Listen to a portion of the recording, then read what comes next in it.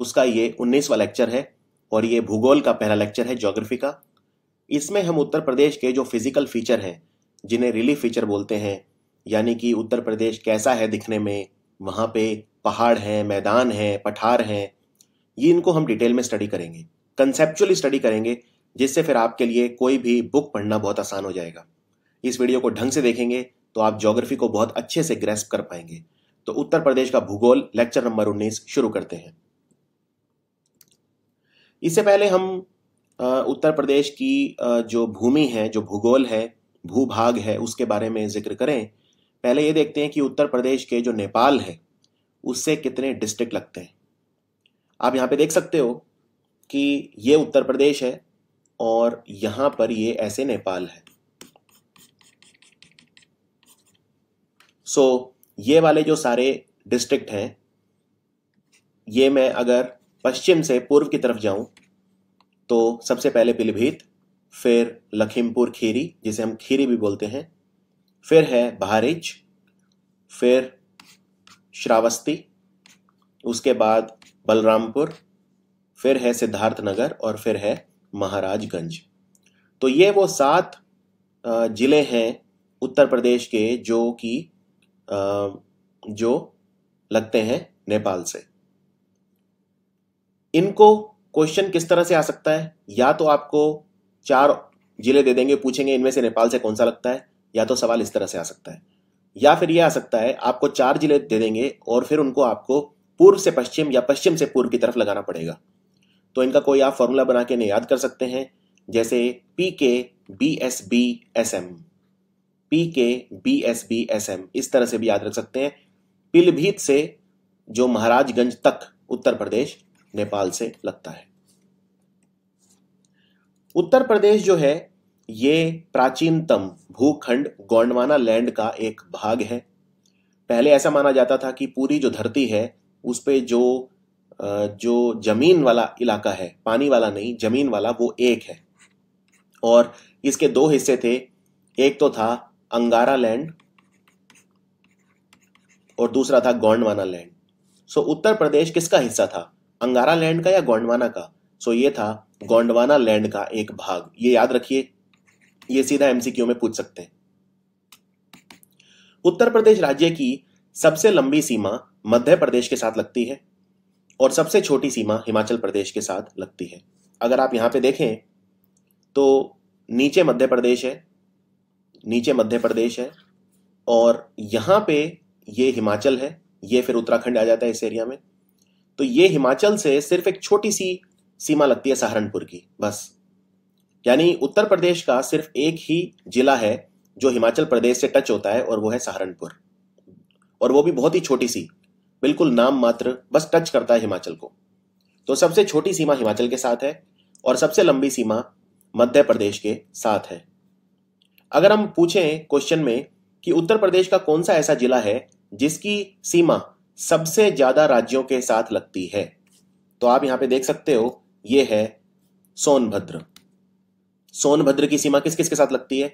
इधर बिहार में, फिर झारखंड और छत्तीसगढ़, और ये झारखंड यहाँ पे यहाँ पे छत्तीसगढ़, और यहाँ पे मध्य प्रदेश। तो चार राज्यों के साथ सीमा लगती है सोनभद्र की। छत्तीसगढ़, झारखंड, मध्य प्रदेश और बिहार।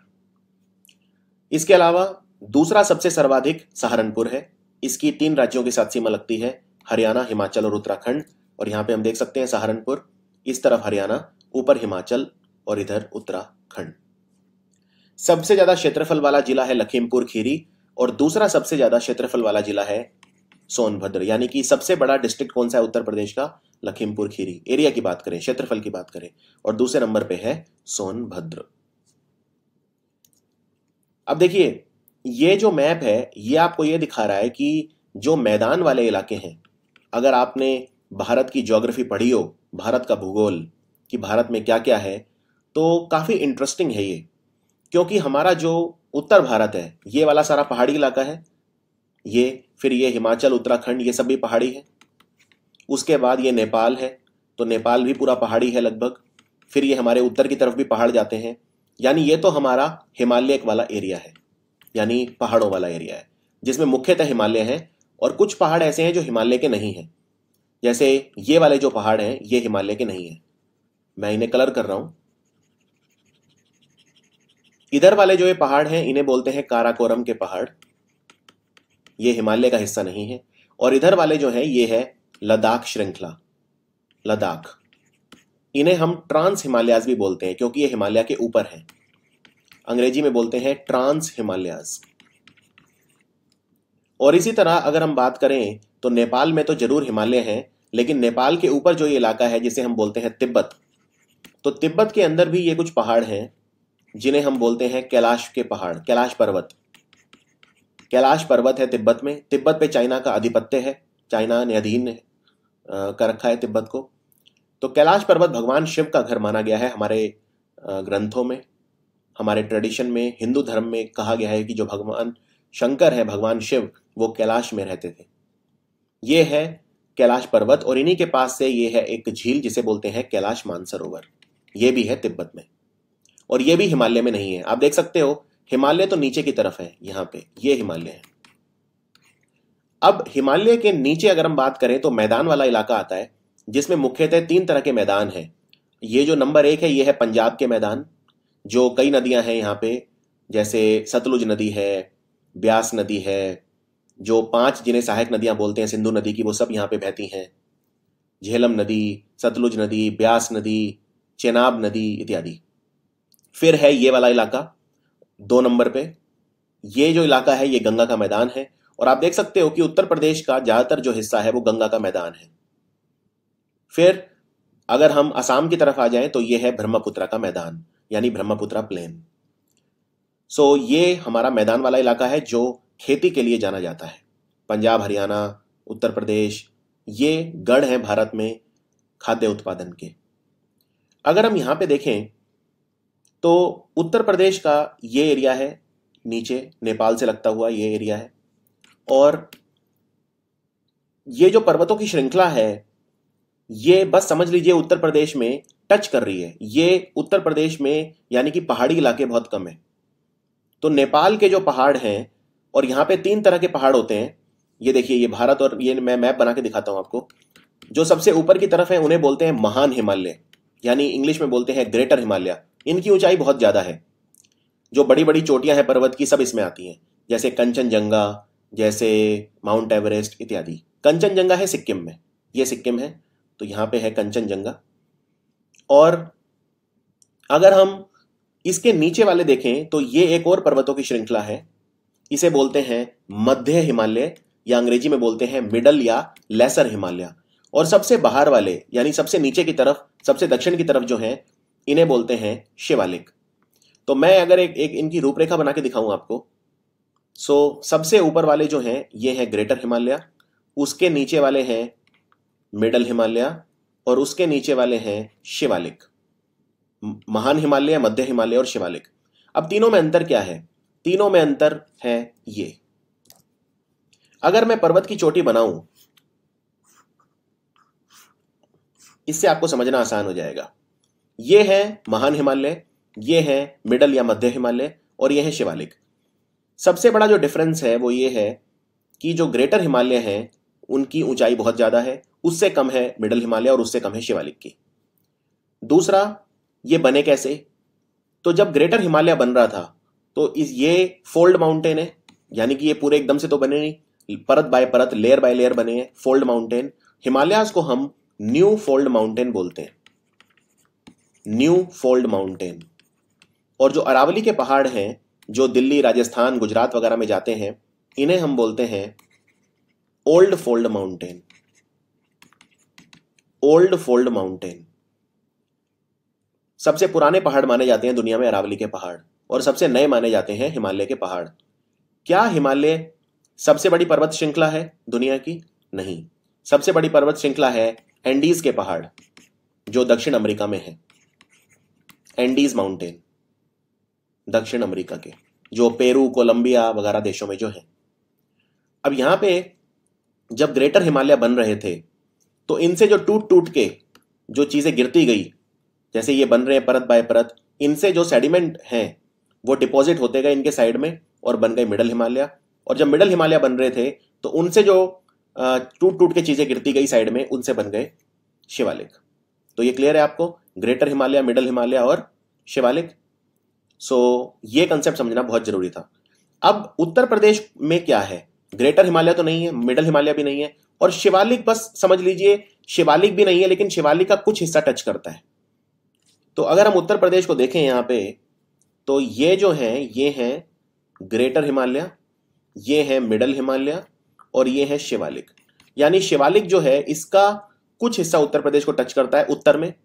और अगर हम देखें तो ये जो शिवालिक हैं, जब ये खत्म होते हैं यहाँ पे तो इनकी जो फुटहिल है। फुटहिल मतलब जहाँ हिमालय पर्वत खत्म हो रहा है, जहाँ शिवालिक खत्म हो रहा है।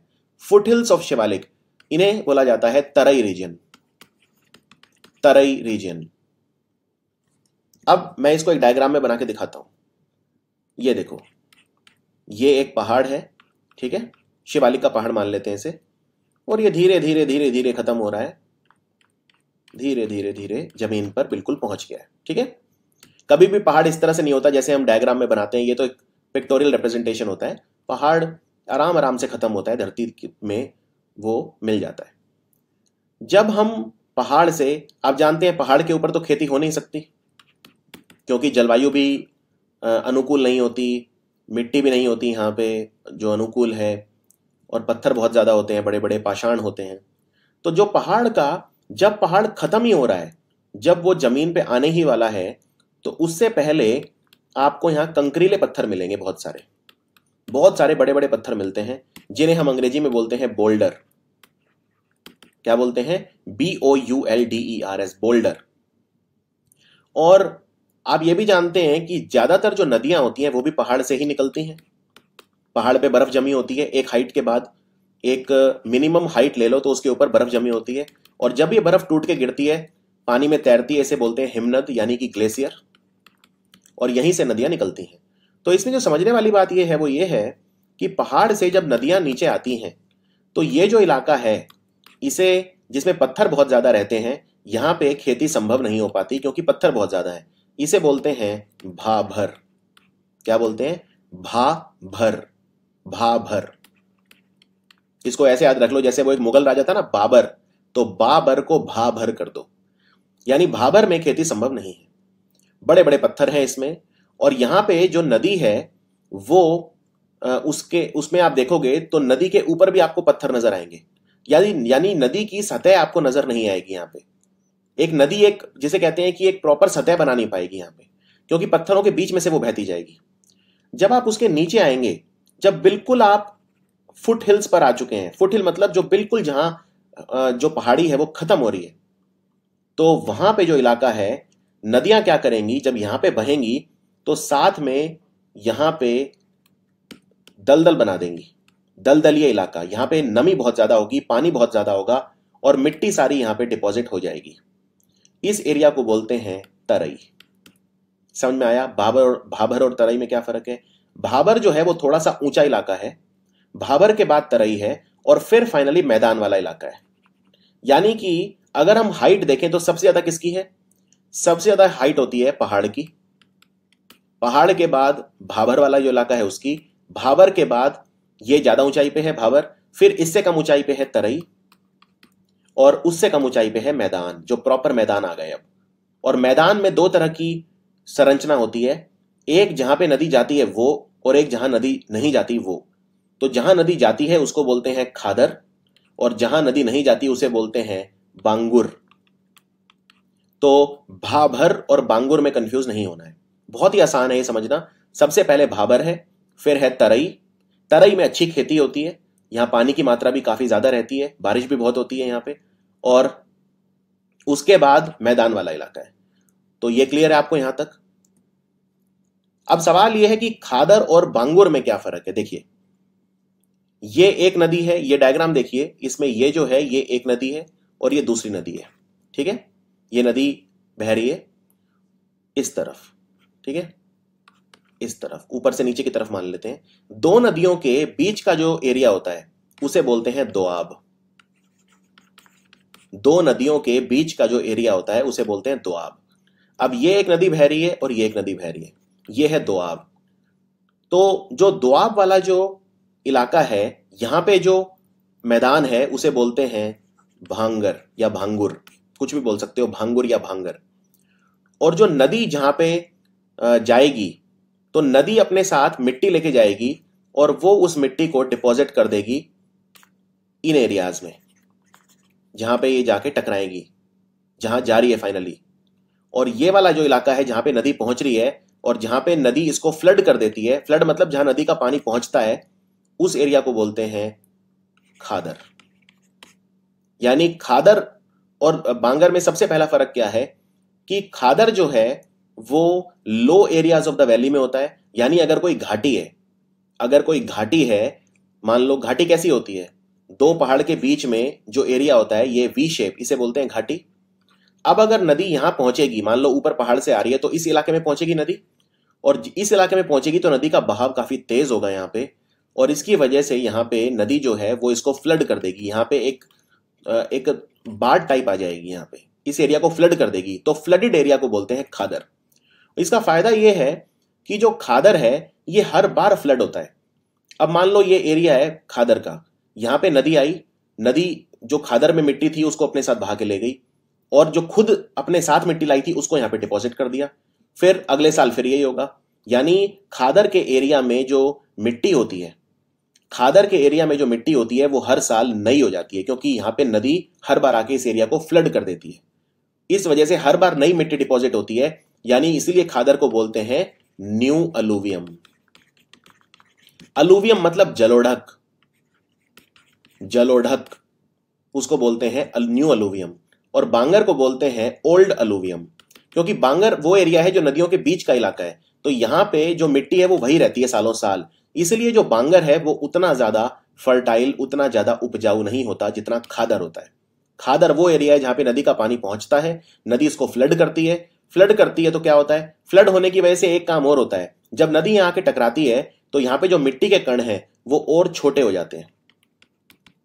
और भांगर जो है, यहाँ पे मिट्टी के कण कंपैरेटिवली बड़े होते हैं, क्योंकि यहाँ पे पानी सीधा आके टकराता नहीं है।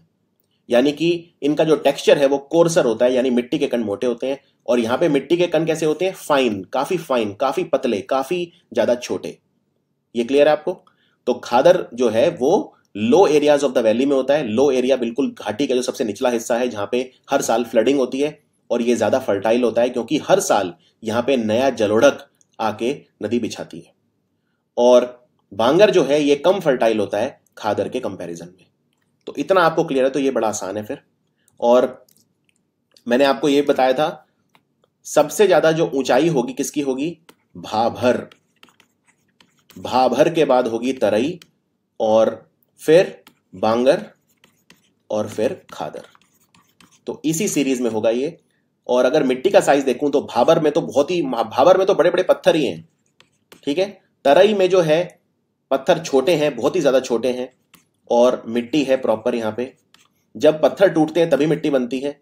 पत्थरों का जब पत्थर जब टूटते हैं, जिसको बोलते हैं वेदरिंग यानी जब ये खंडित होते हैं तो मिट्टी बन, मिट्टी बनती है। फिर बांगर बांगर में जो मिट्टी है, वो और अच्छी होगी, लेकिन खादर से बड़ी होगी। तो सबसे छोटे कण मिट्टी के किसमें होंगे चारों में? खादर में। अब यहाँ पे आप हाइट भी देख सकते हो। जो भाभर की ऊंचाई है, वो है लगभग औसत ऊंचाई की बात हो रही है ये, डेढ़ सौ से दो सौ। ये है भाभर की ऊंचाई, डेढ़ सौ से दो सौ मीटर। और आप देख सकते हो कि जो पहाड़ होते हैं, वो तो बहुत ऊँचे होते हैं। जो जो ग्रेट हिमालय है, महान हिमालय, इनकी औसत ऊंचाई लगभग चार हज़ार मीटर के आसपास है। जो मिडल हिमालय है, लेसर हिमालय बोलते हैं या मध्य हिमालय, इनकी औसत ऊंचाई और भी कम है इससे, लगभग 2000 के आसपास। और उससे शिवालिक की औसत ऊंचाई और भी कम है। और भाबर की जो, क्योंकि भाबर तो बिल्कुल इस एरिया में है, यहाँ पे तो ये तो बिल्कुल ही नीचे है। तो उसकी भाबर की जो ऊंचाई है, औसत ऊंचाई वो डेढ़ सौ से दो सौ मीटर हो गई। ये वो एलिवेशन है, ये इसमें दिखाया हुआ है आपको। ये है भाबर। उसके बाद सौ से डेढ़ सौ वाला ये है तरई। पचास से सौ वाला है बांगर और दस से पचास वाला है सिर्फ़ खादर। ये क्लियर है? यानी कि जो हमारे नॉर्दर्न प्लेन है भारत के जो उत्तरी मैदान है, उन्हें हम चार भागों में बांट सकते हैं। भाभर तरई, बांगर और खादर। सबसे पहले बात करते हैं भाबर की, इनको डिटेल में पढ़ते हैं। उत्तर प्रदेश को मद्देनजर रखते अब ये देखिए, ये कितना पथरीला इलाका है बड़े बड़े पत्थर हैं जिन्हें हम अंग्रेज़ी में बोलते हैं बोल्डर क्या यहाँ पे खेती संभव है? यहाँ पे पहाड़ खत्म ही हो रहे हैं। ये वो इलाका है, भाभर।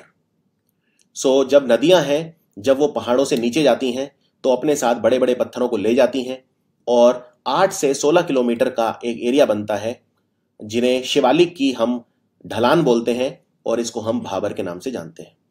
तो पहले महान हिमालय, फिर मध्य हिमालय, फिर शिवालिक और फिर यहाँ पे आता है भाबर। यानी शिवालिक की ढलान जहाँ खत्म हो रही है तो इसीलिए स्लोप ऑफ़ द शिवालिक, यानी शिवालिक की ढलान जिसे भाबर के रूप में जानते हैं।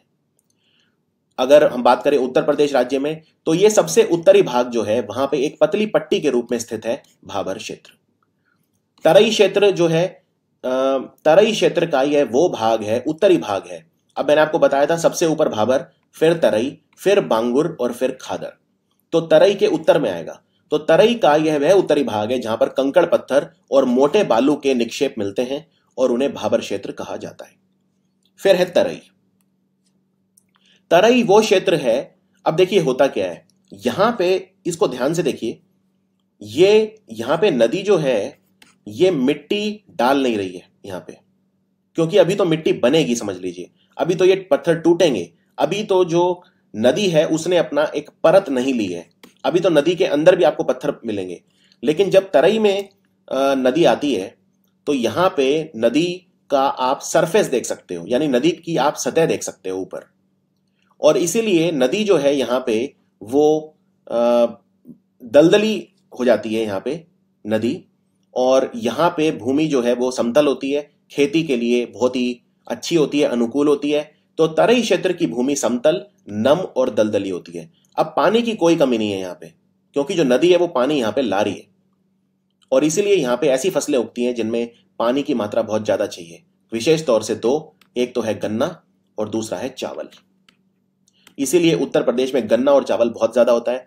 गन्ना उत्पादन में उत्तर प्रदेश नंबर वन है। शुगर केन प्रोडक्शन में, और चावल में नंबर दो है। चावल होता है सबसे ज़्यादा पश्चिम बंगाल में और दूसरे नंबर पे होता है उत्तर प्रदेश में। तो चावल और गन्ना उत्तर प्रदेश में कहाँ उगाया जाता है? तरई के मैदानों में। यहाँ की भूमि समतल, नम और दलदली होती है। यहाँ पे क्योंकि पानी होता है और यहाँ पे फ़सलें भी होती हैं तो यहाँ पे जो वनस्पति है, जो वाइल्ड लाइफ है, वो भी देखने को मिलता है। लेकिन बहुत सारे मैदानों में यहाँ पे जो फॉरेस्ट हैं, जो पेड़ वगैरह हैं, उनको क्लियर कर दिया जाता है, उनको काट दिया जाता है, जिससे भूमि, उपजाऊ बनाई जा सके, कृषि योग्य बनाई जा सके। तो तरई क्षेत्र का वो भाग, जहाँ पे मोटे पत्थर मिलते हैं, वो है भाबर, और जहाँ पे पत्थर, कंकड़ वगैरह नहीं मिलते, वो है तरई। तो भाबर क्षेत्र से सटे दक्षिण में एक चौड़ी पट्टी के रूप में पूर्व से पश्चिम तक फैला है तरई क्षेत्र। अब बात करते हैं बांगर की। यह तीसरा है। क्या यहाँ पे नई मिट्टी डिपॉजिट होती है? नया जलोढ़क या पुराना जलोढ़क? तो ये वाला इलाका है, नदी तो पहुँच नहीं रही यहाँ पे तो ये है नदियों के बीच का इलाका, यानी यहाँ पे नई मिट्टी नहीं लेके आ रही नदी तो यहाँ पे ओल्डर अलूवियम है, यानी कि पुराना जलोढ़क है यहाँ पे। पुराना जलोढ़क। और जो ये जलोढ़क जिस मिट्टी में होता है, उसे बोलते हैं जलोढ़ मृदा, यानी कि अंग्रेज़ी में अलूवियल सॉइल अलूवियल सॉइल तो उत्तर प्रदेश में सबसे ज़्यादा मिट्टी कौन सी है? तो आंसर है जलोढ़क मिट्टी, यानी अलूवियल सॉइल और जो ये अलूवियम होता है, आप इसे कॉप मिट्टी भी बोल सकते हैं। कॉप मिट्टी। कॉप मिट्टी मतलब जो नदियाँ अपने साथ बहा के लेके आती हैं, वो है कॉप। तो कॉप मिट्टी बोल सकते हैं। और भांगर में कॉप जो है, वो नया नहीं होता, पुराना ही होता है, लेकिन खादर में जो हम अगला देखेंगे, उसमें नया होता है। इस मिट्टी में छोटे छोटे कंकड़ और चिकनी मिट्टी के कण भी मिल सकते हैं। ये उतनी ज़्यादा रिन्यूएबल नहीं होती, यानी नदी इसे बार बार रिन्यू नहीं करती, इसका बार बार चेंज नहीं होता। ये पुरानी ही पड़ी रहती है, इसलिए ये उपजाऊ कम हो जाती है और ये नदियों से अलग होती है, नदियों से दूर होती है। तो ये एक नदी है और ये एक नदी है तो ये नदियों से दूर है, ये वाला इलाका है भांगर। अब बात करते हैं खादर की। यहाँ पे जो जलोड़क है, वो नया होता है तो इसे हम नवीन काप निक्षेप जो है गंगा यमुना मैदान के नवीन काप निक्षेप को बोलते हैं खादर और प्राचीन काप निक्षेपों को बोलते हैं बांगर ये रिन्यू होता रहता है हर साल, नया आता है, इसलिए ये ज़्यादा फर्टाइल है और इसमें मिट्टी के कण भी बहुत छोटे हैं। तो ये जो है, एकदम नदियों के पास मिलता है। In fact in the course of the river and flood plain मिलता है। यानी नदियाँ जहाँ पे जाती हैं, ये उसी एरिया में मिलता है खादर। और बहुत ज़्यादा उपजाऊ होता है यहाँ पे, क्योंकि जो जलोड़क है, वो नया है हर साल तो इसीलिए उसमें काफ़ी ज़्यादा खनिज वगैरह मिलते हैं। ये वो इलाका है जिसकी मैं बात कर रहा था, तरई। मैंने कहा था एक पट्टी के रूप में तो ये है वो पट्टी जिसको आप देख सकते हैं, ये तरई का इलाका। जो उत्तर प्रदेश को, उत्तर प्रदेश है, मैं उसे तीन भागों में बांट सकता हूँ। ये जो बीच वाला इलाका है, ये तो है मैदान का इलाका, गंगा का मैदान बोलते हैं जिसे, बीच वाला। दक्षिण वाला जो है, ये डिस्ट्रिक्ट है ललितपुर। ललितपुर, और ये वाला है सोनभद्र, इसके ऊपर मिर्जापुर वगैरह। तो ये जो इलाका है, ये दक्षिण का इलाका, इसे बोलते हैं दक्षिण के पठार। ये है दक्षिण का पठार, ये बीच में है गंगा का मैदान और सबसे ऊपर है तरई और भाबर वाला क्षेत्र, जो शिवालिक पर्वत श्रेणी का एक विस्तार है, एक हिस्सा है। क्योंकि शिवालिक की ढलान को ही बोलते हैं तरई, भाबर और तरई। अब ये देखिए, सबसे ऊपर वाला जो एक छोटी पट्टी के रूप में है, जिसमें नेपाल से लगे हुए सारे ज़िले आ जाते हैं, जो हम देख चुके हैं, सात ज़िले नेपाल से लगते हैं तो वो सारे इसमें आ जाते हैं भाबर और तरई वाले क्षेत्र में। इसके अलावा बिजनौर, सहारनपुर का कुछ हिस्सा, ये सब है हमारा सबसे उत्तर प्रदेश का उत्तर हिस्सा। तो उत्तर प्रदेश के उत्तर में शिवालिक पर्वत श्रेणी का विस्तार है। उत्तर प्रदेश के मध्य में गंगा का मैदान है और उत्तर प्रदेश के दक्षिण में विंध्य पर्वत श्रेणी का विस्तार है। विंध्य पर्वत श्रेणी जो है मध्य प्रदेश से आती है, दक्षिण से उत्तर की तरफ़, और इसका हिस्सा इसमें भी कुछ ना कुछ समाता है। इसके अलावा यहाँ पे बुंदेलखंड का पठार है, बागेलखंड का पठार है। ये जो सोनभद्र मिर्जापुर वगैरह है इसमें ये बागेलखंड का पठार है और जो ये ललितपुर झांसी और ये वाला जो इलाका है यहाँ पे ये बुंदेलखंड का पठार है। यानी दक्षिण उत्तर प्रदेश का छोटा सा हिस्सा जो है वो पठार है। उत्तर प्रदेश का छोटा सा हिस्सा भाबर और तरई है। उत्तर प्रदेश का सबसे उत्तर वाला लेकिन ज़्यादातर जो हिस्सा है उत्तर प्रदेश में वो है कृषि योग्य जिसे बोलते हैं गंगा का मैदान। ये यहाँ तक क्लियर है आपको? ये आ, मैंने आपको इसमें वो दिखाया है कि जो वेस्टर्न प्लेट्यू और हिल रीजन है ये, सेंट्रल प्लेट्यू और हिल रीजन, ये बेसिकली उत्तर प्रदेश ही नहीं है इसमें, और भी आसपास के राज्य हैं। इसमें हमने ये दिखाया है कि खेती वाले इलाके कौन से हैं। जैसे जो गंगा का जो मैदान है, वो भी कई तरह का होता है। ये है ऊपर वाला गंगा का मैदान, अपर गंगेटिक प्लेन रीजन, ये है मध्य वाला गंगा का मैदान। आप जानते हैं गंगा उत्तर प्रदेश में बिजनौर में सबसे पहले घुसती है और बलिया से निकल जाती है। जब गंगा नदी उत्तर प्रदेश से निकलती है तो बलिया से निकलती है और बिजनौर से घुसती है। तो पूरा काफ़ी बड़ा गंगा का मैदान आता है। उसके बाद ये है lower Gangetic plain region, Ganga का जो निचला मैदान है, ये है eastern plateau and hill region, यानी पूर्वी पठार, ये है पश्चिमी पठार और ये है मध्य पठार वाला इलाका। ये याद रखिए, जो ये उत्तर प्रदेश में दक्षिण का जो पठार वाला इलाका है, ये प्राय द्वीपीय पठार और जो मालवा का पठार है, उसी का हिस्सा है। मालवा पठार जो है, वो मध्य प्रदेश में है। पठार आप जानते हैं क्या होता है? प्लेट्यू, अंग्रेज़ी में बोलते हैं प्लेट्यू। देखिए, ये तो है पहाड़, ठीक है? पहाड़। पहाड़ से छोटी होती है पहाड़ी, यानी हिल। ये है माउंटेन, ये है हिल, ठीक है? और हिल ये होता है पठार। जो माउंटेन होता है, वो जनरली उसमें अगर आप देखें तो जो ऊपर का इलाका होता है, वो एक नोक के रूप में होता है, नुकील एक उसमें होता है। यानी ऊपर चपटा नहीं होता वो। लेकिन पठार जो है, एक तो उसकी ऊंचाई बहुत कम होती है, ज़मीन से थोड़ा ही ऊपर होता है पठार और ये चपटा होता है ऊपर से तो ये फ़र्क होता है पहाड़ में और पठार में। ये है प्राकृतिक विभाजन उत्तर प्रदेश का। सबसे ऊपर वाला इलाका कौन सा है? सबसे उत्तरी, भाभर और तराई वाला इलाका शिवालिक की ढलान वाला इलाका, फिर बीच में गंगा का मैदान और फिर दक्षिण का पर्वत पठार। तराई क्षेत्र में कौन कौन सी फ़सलें उगती हैं? तराई क्षेत्र में पानी की कोई कमी नहीं है। सबसे ज़्यादा जो बारिश है, वो इसी एरिया में आती है, तराई में। और इसकी मुख्य फ़सलें हैं धान और गन्ना, धान मतलब चावल, और इन दोनों को ही बहुत ज़्यादा पानी चाहिए। मैदानी क्षेत्र के मुख्य फ़सल कौन से हैं? गेहूँ, धान और आलू। गेहूँ, धान और आलू, ये मैदानी क्षेत्र के मुख्य फ़सल हैं। तराई क्षेत्र के दक्षिण व बुंदेलखंड पठारी क्षेत्र के उत्तर क्या स्थित है? मैदानी क्षेत्र। यानी मैदानी क्षेत्र अगर मैं देखूँ तो मैदान बीच में है, ठीक है? तराई के दक्षिण में और बुंदेलखंड पठार के उत्तर में, ऐसे भी बोल सकता हूँ मैं। और इनकी बाउंड्री कौन डिसाइड करता है? इसके लिए मुझे आपको मैप दिखाना पड़ेगा। उत्तर प्रदेश का। यहाँ पे देखिए। जो ये एरिया है, ये मैदान है बीच वाला इलाका। तो यहाँ पे जो बिहार और उत्तर प्रदेश का बॉर्डर है, यहाँ पे बहती है नदी, जिसको बोलते हैं गंडक नदी। और यहाँ पे सहारनपुर से जो घुसती है, ये यमुना नदी। तो अगर मैं बोलूँ कि जो गंगा का मैदान है इसकी जो पश्चिमी जो रेखा है, पश्चिमी जो बाउंड्री है, वो कौन निर्धारित कर रहा है? यमुना नदी। और जो पूर्वी बाउंड्री है इसकी, वो कौन डिसाइड कर रहा है? गंडक नदी। तो ये कंसेप्ट आपको याद रखना है, ये पूछते हैं कई बार कि भाई जो नदियाँ हैं वो कौन सी हैं? तो यमुना के पूर्व व गंडक के पश्चिम में स्थित है मैदानी क्षेत्र। गंडक नदी इधर है पूर्व में तो इसके पश्चिम में हो गया मैदानी क्षेत्र, और यमुना पश्चिम में है तो इसके पूर्व में हो गया। तो यमुना और गंडक के बीच का जो इलाका है, वो है मैदानी क्षेत्र। इसके अलावा गंगा, यमुना, घाघरा शारदा, रामगंगा, राप्ती, गंडक द्वारा लाई गई कॉप, कीचड़ व बालू से बना है मैदानी क्षेत्र। जो बीच वाला मैदानी क्षेत्र है उत्तर प्रदेश का, वो ये जो नदियाँ अपने साथ मिट्टी लेके आती हैं, कॉप तो नवीन कॉप और पुरा, जो प्राचीन कॉप है, नवीन कॉप मतलब खादर, प्राचीन कॉप मतलब भांगर। कीचड़ और बालू से बना है मैदानी क्षेत्र। कई सारी नदियाँ यहाँ पे लेके आती हैं अपने साथ जलोढ़ को। गंगा, यमुना, घाघरा, हम देख चुके हैं ये, जब हमने नदियाँ पढ़ी थी, गंगा, यमुना, घाघरा, शारदा, राम गंगा, राप्ती और गंडक रिवर। इसके अलावा खादर जो क्षेत्र हैं, उनमें गंगा यमुना नदी द्वारा आवरण क्षय होने से बनते हैं बीहड़। बीहड़ बेसिकली क्या है कि जो गंगा और यमुना है, कई बार उनसे जो बाढ़ वाले इलाके होते हैं, वहाँ पे इस तरह बड़े बड़े रेत के टीले बन जाते हैं, इन्हें हम बीहड़ बोलते हैं।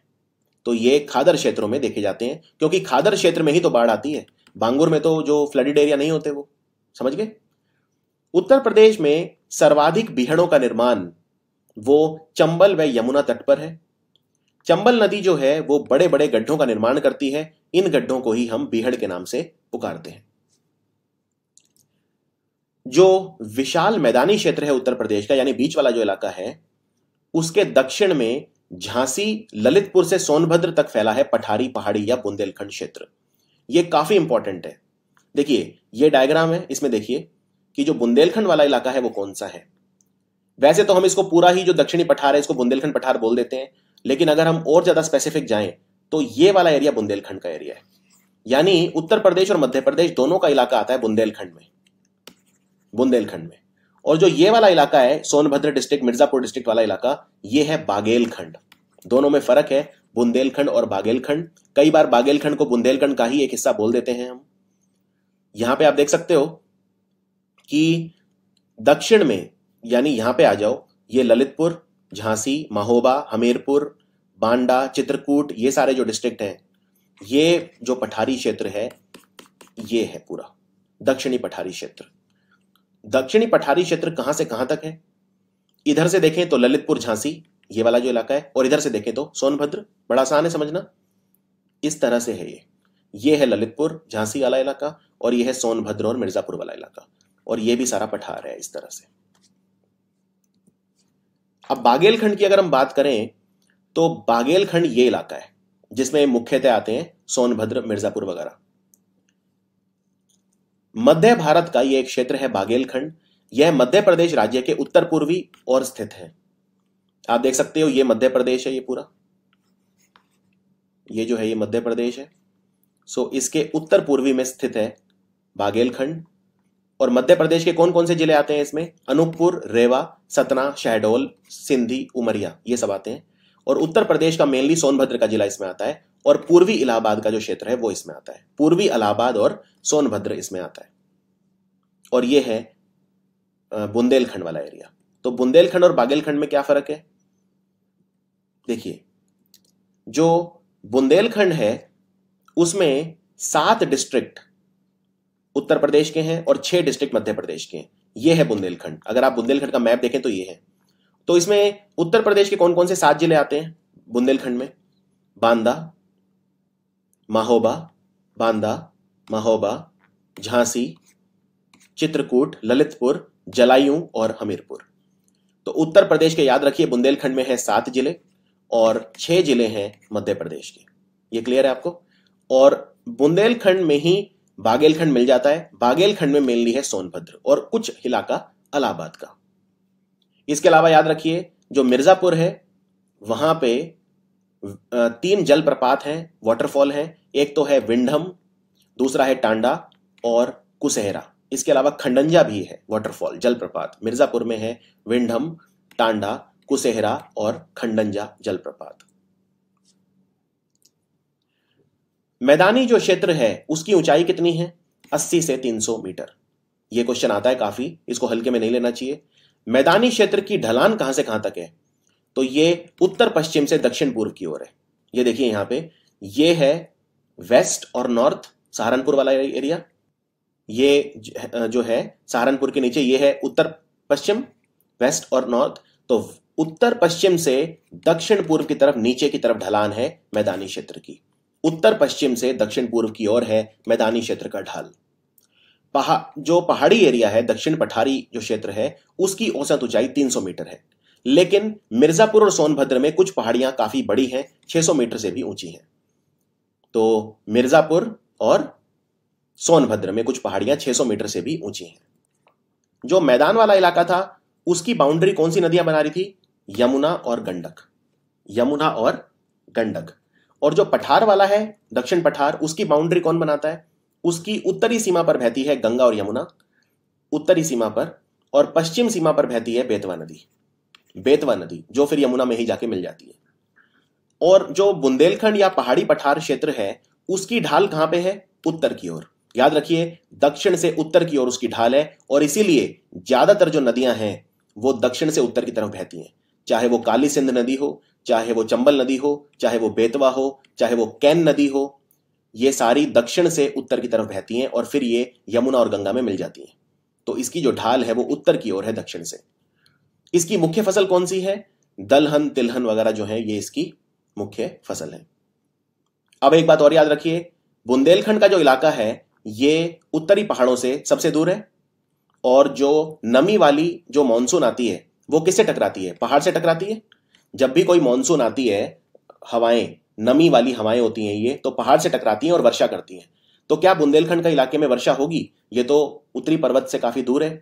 तो इसीलिए सबसे ज़्यादा बारिश कहाँ होगी? जो बिल्कुल पहाड़ के एकदम पास है, यानी कि तरई। तरई इलाके में बारिश सबसे ज़्यादा है और बुंदेलखंड में सबसे कम है। यानी बुंदेलखंड जो इलाका है, काफ़ी गरीब माना जाता है, काफ़ी पिछड़ा माना जाता है उत्तर प्रदेश का, क्योंकि ये पहाड़ों से सबसे दूर है। इसलिए नमी वाली जो मानसून जो विंड आती हैं, मानसून हवाएँ जो आती हैं, वो अपनी सारी जो नमी है, वो यहीं पे छोड़ देती है, पहाड़ के नीचे तराई में ही। यहाँ पे भारी बारिश होती है, लेकिन बुंदेलखंड में बिल्कुल बारिश नहीं होती। इसीलिए उत्तर प्रदेश और मध्य प्रदेश की सरकार मिलकर केन और बेतवा नदी को जोड़ रहे हैं। जिससे बुंदेलखंड के इलाके में सिंचाई हो सके, पानी आ सके। तो इसका जो पानी है वो किससे किसमें जाएगा, ये भी समझिए। केन और बेतवा दोनों ही यमुना नदी की सहायक नदियाँ हैं, लेकिन केन नदी में पानी काफ़ी ज़्यादा रहता है, बेतवा में कम रहता है। तो हम केन और बेतवा को जोड़ रहे हैं जिससे बुंदेलखंड में सिंचाई बढ़ सके। तो पानी किससे किसमें जाएगा, केन का पानी जाएगा बेतवा में। इसमें एक प्रॉब्लम यह है कि केन से बेतवा जब हम नहर से जोड़ेंगे उसे तो बीच में पड़ता है पन्ना राष्ट्रीय उद्यान। जो मध्य प्रदेश में है, पन्ना नेशनल पार्क। और इसमें हमें काफ़ी सारे पेड़ गिराने पड़ेंगे। इसमें जानवरों को हमें दूसरी जगह उनका स्थानांतरण करना पड़ेगा, उनको शिफ्ट करना पड़ेगा। ये एक थोड़ी सी समस्या इसमें आ रही है। लेकिन याद रखिए, केन बेतवा प्रोजेक्ट जो है, ये चालू है। इस पे काम चल रहा है और बहुत जल्दी बनके तैयार होने वाला है। केन और बेतवा को जोड़ा जाएगा और केन का पानी जाएगा बेतवा में।